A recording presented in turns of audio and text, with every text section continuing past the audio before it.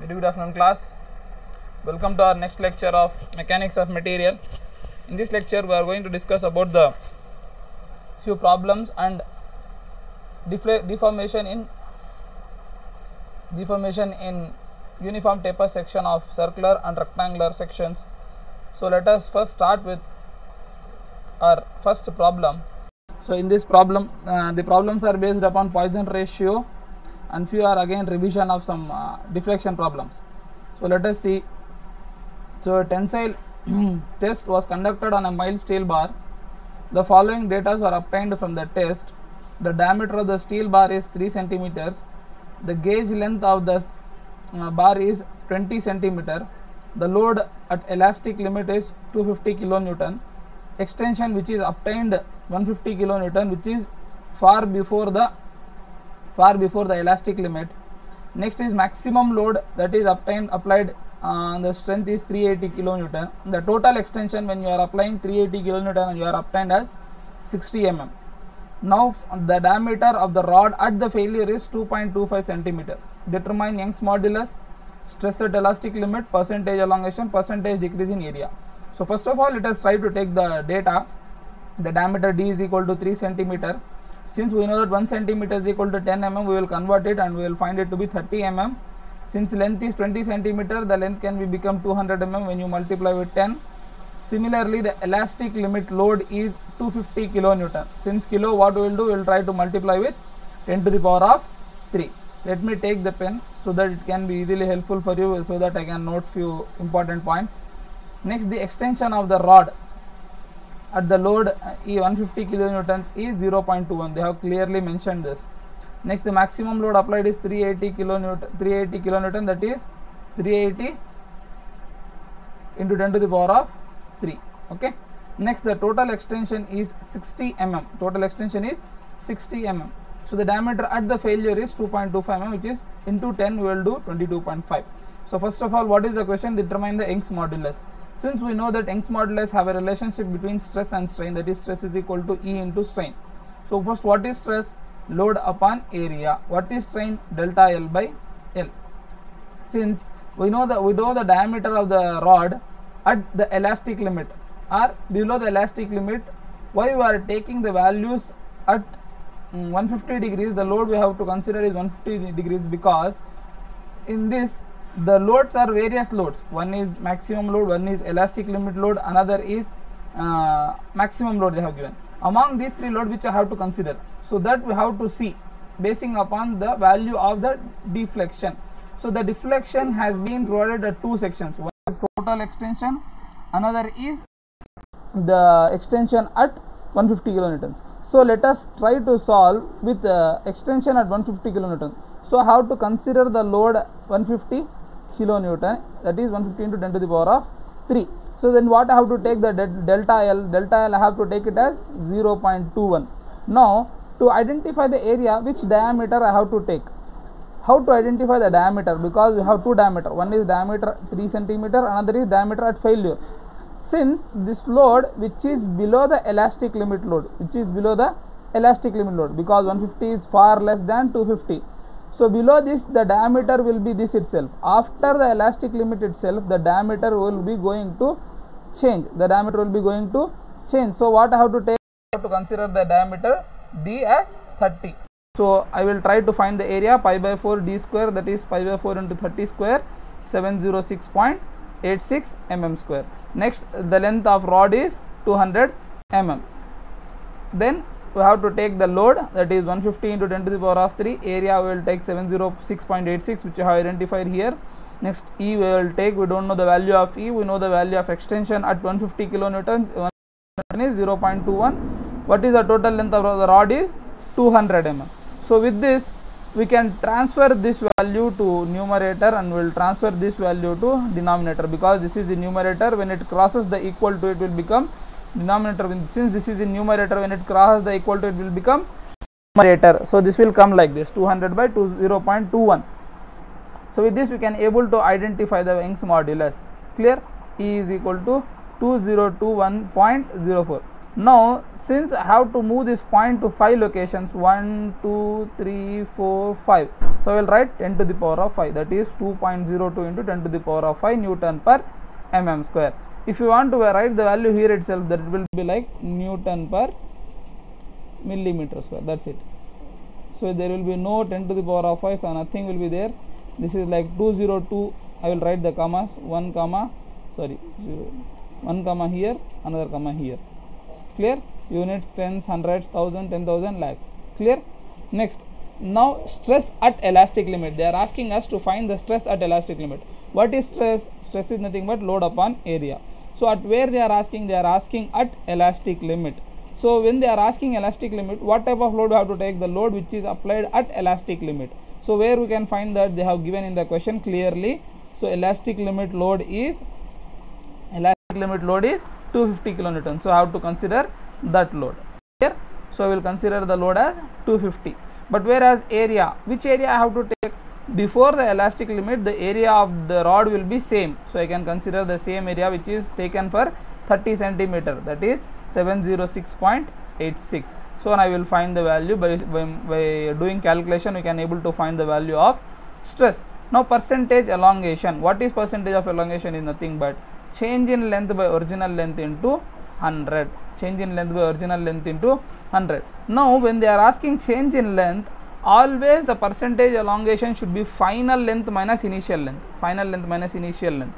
So we don't know what is final length but they have given the total extension as 60 total extension as 60 they have given here. The total extension is nothing but how much extra? So l2 minus l1 they have directly given. The total delta l they have given. So the total delta l is 60 divided by what is the original length of the rod? 200 0 0 will cancel. 0 0 will cancel. 2 ones are 2 threes are. 3 into 10 30 percentage. Clear? Next percentage area decrease. What is percentage area decrease?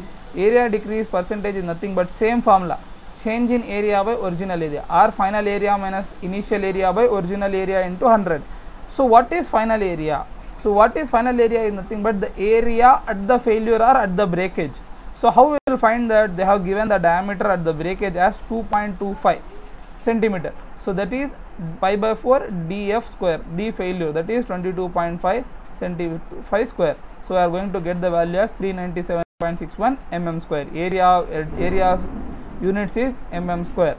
Now percentage change in area is nothing but change in area by original area into 100 final area minus initial area by original area or initial area into 100 what is final area? This is our final area. Because at the bracket this will be the area which you are going to obtain. What is initial area? 706.86 before the elastic limit. Divided by original length is 0.86 sorry 706.86 into 100 we are going to obtain it to be 43.74 why this minus is coming here is nothing but this minus sign indicates that the area is going to decrease. Since the length increases the area is going to decrease so i will draw the diagram for that. Let us take the bar like this. So when you apply the tensile load on both the sides or axial pulling force so because of the pulling the area will reduce and the length will increase. The area will decrease and length will increase. Okay? So this is going to happen here. Clear? So after completing every time we try to write this if there are n number of questions write all the answers together which we have obtained. Clear? Done here we have written reduction so no need to write the sign here. When you write reduction here no need to write the sign here. Clear? Let us see the another problem which is based upon Poisson's ratio. So in this problem they have given determine the value of the Young's modulus and Poisson's ratio of a metallic bar of length 30 centimeter breadth 4 centimeter and depth 4 centimeter. When the bar is subjected to an axial compressive force compressive force is also nothing but pushing force of 400 kilonewton when we ask kilo 10 to the power of 3 the decrease in length given as so delta l they are giving here. Decrease in length is given here and increase in breadth is given as 0.03 centimeter. Increase in breadth is given decrease in length is given. Done? So we'll try to write down the data. Length is equal to 30 centimeters in 1 1 centimeter is equal to mm multiply we will get 300 breadth 4 centimeter 40 mm depth 4 centimeter 40 mm clear next load applied is compressive load 400 kilonewton kilo means 10 to the power of 3 next decrease in length delta l is given as 0.07 75 75 centimeter they have given. So since centimeter I have to multiply with 10 that will be like 0.75 mm. Next increase in breadth they have given as 0.003 centimeter. Again for centimeter you have to multiply with 10 you are going to get 0.03 mm. Okay so see this problem when you compress it. So in this the area is going to increase. So what we have to find is in this problem is let us see what is the question they have asked. One is Young's modulus another is Poisson's ratio. Same. Whenever they ask the Young's modulus you try to relate the formula with delta L is equal to you can directly derive this formula delta L is equal to PL by AE among this your length is P is known your length is known your delta L is known your area is known. How your area is known you have to calculate the area. So for a rectangular section how you will calculate the area? I have drawn a problem here. So let us see. So on on which area the load is going to apply? This area. On this area the, the the load is going to act. So what is this area is nothing but B and H. This area is nothing but B and H. So area of this cross section is nothing but B into H. Since for a rectangular, sorry, for circular rods you have taken pi by 4 d square. Here the area is nothing but B into H. Clear? Here the area of rod is equal to B into H. Clear? So delta L is equal to PL by AE. P is 400 into 10 to the power of 3. L is 300 a is 1600 delta L is given as 0.75 E value is known so from this E is equal to you will be able to get the value as 100 into 10 to the power of 3 Newton per mm square. 100 into 10 to the power of 3 Newton per mm square. Do this calculation in your calculator. Try to have a notes of all these things. Uh, once the college is open I will try to correct the notes okay? Next is Poisson's ratio. So already we have discussed what is Poisson's ratio. Poisson's ratio is denoted by either mu okay or 1 by m. Either mu or 1 by m. Some authors write it as mu some authors write it as 1 by m. So the Poisson's ratio is equal to lateral strain by longitudinal strain. What is lateral strain? Lateral strain will be always either delta b by h or delta h by h or delta d by d. Delta b by b or delta h by h or delta d by d. Basing upon these three whichever value is given you have to consider that. In this problem we are going to consider delta b by b. Why we are going to consider this? Because they have given the increase in breadth. Because they have given in increase in breadth so how much they have given 0.03 what is the original breadth 40 centimeter so with this we can able to obtain the lateral strain once you obtain the lateral strain go for longitudinal strain what is longitudinal strain longitudinal strain is always delta l by l longitudinal strain is always delta L by L. What is delta L value? They have given 0.75. What is original length? 300 mm.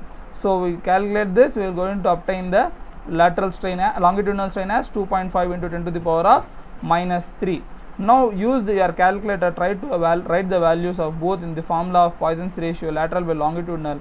So you, you are going to get the value as 3 into 10 to the power of minus 4 into 10 to the power of 3 because this minus 3 when goes to numerator it becomes positive it becomes positive that is 3 into 10 since bases are equal powers can be added bases are equal powers can be added minus 4 plus 3 that is minus 1 so 3 divided by minus 10 to the power of minus when you try to calculate in formula you are going to get it as 0.3 so you can ask me sir you have not written the unit here. Since the both the values are ratio of same quantities there will be no unit. There will be no unit. I hope i am clear with this problem. Okay? If you have any doubts please write in uh, your comment section. So let us uh, start a new topic that is deflection of uniform deflection or deformation of of uniformly tapered section. So here when i say deflection don't get confused with uh, again there will be a so you can even consider it as uh, extension or elongation. You can get it you can even write it as extension or elongation. That is delta L extension or elongation. Okay? Extension or elongation.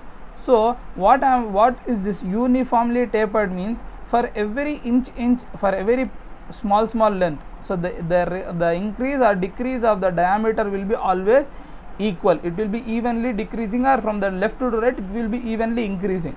So we are considering a taper section. Till now the problems we have solved we have we have always considered a uniform cross section like this. This is uniform cross section. Now your your your cross section is being reduced or it is being increased uniformly. Means for every length it has been increasing eventually. Sequentially it is increasing. So i am considering a uniformly tapered bar of diameter d2 d1 to d2 which is being tapered. Okay? So let us consider a load of tensile acting at the section 1 and 2 which is section 1 is this section 2 is this. Let us consider this as your section 1 this is your section 2 so for the if, if front view diagram is drawn for that it will appear like this. So this is your section 1 this is your section 2 d1 d2 and load is applied as p1 p2 let, let the length of the uh, taper section will be like l meters. Now i am considering a small element which is at a distance of x from the highest or the from the higher diameter from the higher diameter. So what and the thickness of this and the length of this element is dl length of this element is dl length of this element is dl the length of the total element is capital l. Length of the small element is dl now how to identify the diameter of this? What will be the diameter of this element whole element? So we will have a formula for that. Dx is equal to since if you if you draw a diagram like this parallel lines so see here it is being decreased here. It is being decreased here. So what i will do? I will do d1 minus okay from total d1 i have to subtract. What i have to subtract? I have to subtract so, per unit length how much the value is changing? Per unit length. So per unit length how you will take? D1 minus d2 so what this d1 minus d2 is nothing but your change your total change. Okay? This d1 minus d2 is this. Okay? This d1 minus d2 has been varied for a length of l. So this is nothing but per unit length. D1 minus d2 by l will give you the change in diameter with respect to l. So and this is also called as uh,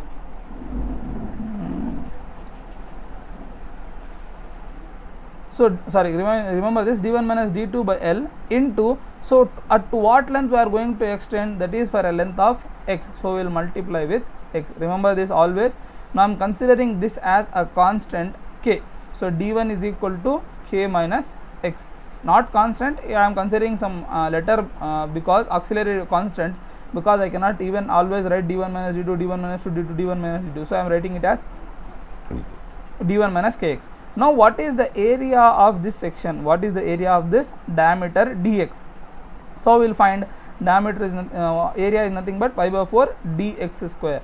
So pi by 4 of what is dx value? D1 minus kx the whole square now let us calculate the stress on that section. Stress is equal to load upon area. That is p divided by pi by 4 d1 minus kx the whole square. So this 4 will go to the numerator since this is denominator to the denominator. 4p divided by pi into d1 minus kx the whole square. Now let us calculate the strain on this section on the element which you have considered small element. So that ex ex is equal to stress by e. Stress value you have calculated here 4p by pi into d1 minus kx is kx the whole square into e. Now what is this delta l? What is this strain is nothing but delta l by l or delta l by x. Don't write here l. So this is your x. This is also your delta x because your uh, section is of not total length it is of x. Okay? Delta x. Delta x by x is equal to 4p by uh, pi e into d1 minus kx the whole square. Now delta x is equal to 4p dx. dx is nothing but the total length of the section. 4p dx into pi e d1 minus kx the whole square. Okay? So let us find the uh, elongation of this rod. Here also delta x delta x. So total elongation of this rod is nothing but uh, we have to integrate from 0 to l. Why? The length of the section is being varied from this is if i consider this as origin this is my 0 so this is my l. So if you see the x value x value is here 0 x value here is l. So i have to integrate this between the limits? 0 to l. So in this x is the function which you have to integrate. So other than that 4p pi e are constant. So i will take it 4p pi i am taking out. Remaining i have keep it inside. 1 by d minus kx the whole square into dx so this we know that uh, according to integration if this value is like this so we know a few formulas uh, that is 1 by uh, a plus bx a plus bx so integration of a plus bx so whatever is the uh, constant you have before the value it should come it should come in the denominator or if it is in the denominator the whole differentiation of the differentiation of this should come to the numerator. So let us see uh, is the differentiation of this is going to come in the numerator? We don't know.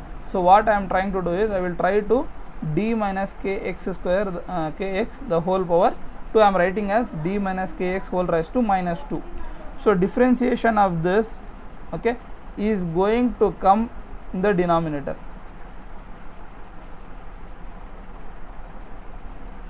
uh, sorry. Differentiation of this is going to come in the numerator that is minus k. Why means if you differentiate this this is d1 is constant. Uh, what is differentiation of x? Minus k. So minus k i am writing here. I don't have this value so i am multiplying and dividing with minus k and minus k. Okay? Since we, uh, by multiplying and dividing this we can able to identify we can able to get the differentiation of this d minus kx square as minus k. You can able to check that. So minus 2 is the power here so uh, now this minus k is we can take it out constant. Why we have we are considering this is constant now according to this is so it does not depend upon the value of x because d1 is uh, some fixed value d2 is a fixed value and l is a fixed value according to our problem. So you can take it out constant here minus k. So once it is d1 minus kx what is integration of uh, x raised to n? Integration of x raised to n is integration of x raised to n is uh, x raised to n plus 1 x raised to n plus 1 I am trying to write here again. So integration of x raised to n dx integration of x raised to n dx is equal to x raised to n plus 1 by n plus 1 n plus 1 by n plus 1 n plus 1 by n plus 1 okay? N plus 1 by n plus so my what is the power here? Minus 2 so minus 2 plus 1 by minus 2 plus 1 what is the limits in between? 0 to l. Clear? Clear? So this minus k is gone outside this minus i am taking as um, okay. So write this. Minus 2 plus 1 so what will be the value? Minus 1 so this minus 1 and this minus k will multiply and it will become positive. 4p by pi e k 1 by d minus k into x so in between these two i have to apply the limit 0 to l first. I will apply l then i will apply 0 when i apply 0 this is kl when it applies 0 it is k0 k into 0 0 so what is remaining? 1 by dl whereas here i will substitute the value of k d1 minus d2 by l. This l and this l will get cancelled. So this is 1 by d1 minus of min, uh, minus into d minus d1 minus into minus plus plus d2 minus 1 by so this minus d1 plus d1 will get cancelled. So this is like 1 by d2 minus 1 by d1 i am not changing the value of k here. I am only changing the value of k inside the brackets. Okay? So that is like dl is equal to 4p by pi e of now i am changing the value. K d1 minus d2 by l 1 by d2 minus 1 by d1 now i am taking the uh, lcm so when i am taking the lcm multiply to the numerator multiply to the numerator and do multiplication. That is d1 minus d2 by d1 d2 so again here also d1 minus d2 is there here also d1 minus d2 is there which can be cancelled here. It is cancelled so it is like 4p this l will go to the numerator that is 4p l by pi e. This d1 d2 will be multiplied with the denominator so total denominator dl is equal to 4p l of pi e d1 into d2 so the deformation of the uniformly circular tapered section is nothing but 4pl of pi e d1 into d2 4pl into pi e of d1 into d2 so this is the problem. With basing on this we have one problem. So remember this formula also. This is also very very important formula. Sometimes they are going to ask you. So we'll have a uh, problem on this. So find the modulus of elasticity for a rod which is uh, taper uh, uniformly from 30 mm to 15 mm in a length of 350 mm so the rod is subjected to an axial load of 5.5 kilonewton. The extension of the rod is 0.2025 mm 0.025 mm so let us try to note down the data. The given load is 5.5 kilonewton 5.5 into 10 to the power of 3 so diameter is varying from d1 30 mm d2 15 mm and the length is 350 mm and the extension or the expansion of rod is given as delta l is equal to 0.025 so we know the formula as dl is equal to 4pl by pi e into d1 d2 so extension value is given 0.025 p value is given as 5.5 into 10 to the power of 3 l value is known as 350 and d1 d2 is 30 and 15 substitute that you are going to get the value as e is equal to 2.7 into 10 to the power of 5 so in next class we will try to analyze uh, analysis of uniformly taper rectangular section how it is going to deform or how it is going to extend when the axial load is applied